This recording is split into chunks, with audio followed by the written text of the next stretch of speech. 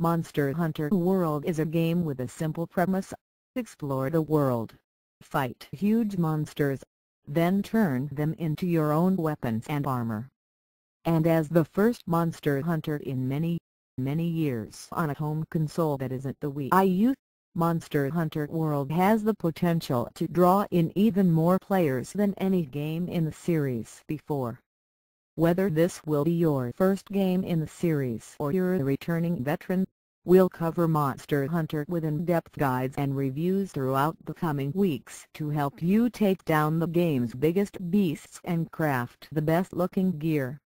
In this roundup feature, you'll find links out to all our most relevant Monster Hunter content as it goes live, so check back for updates and Monster Hunter tips. The final public beta has ended for Monster Hunter World, but its full release on Xbox One and PS4 is imminent.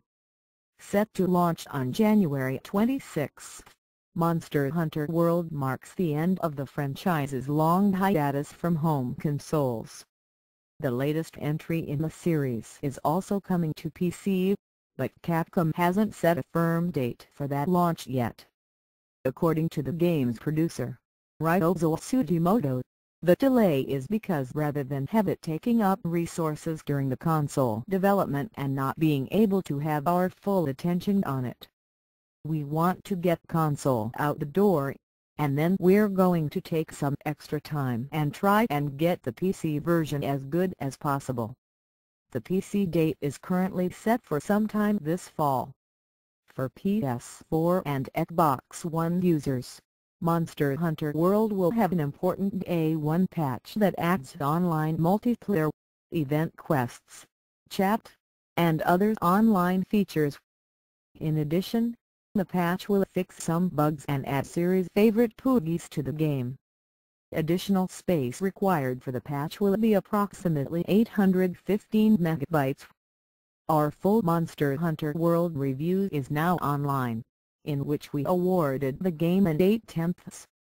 Ever since the title was first announced last year, it was clear that Capcom was gunning for something grander than Monster Hunter Generations.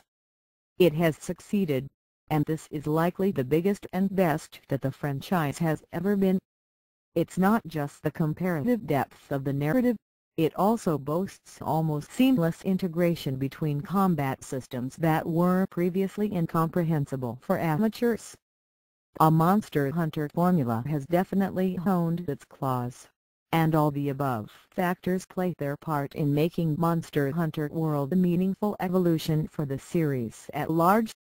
Unfortunately, Capcom has confirmed that there are no plans for a Switch version of Monster Hunter World pre-ordered bonuses.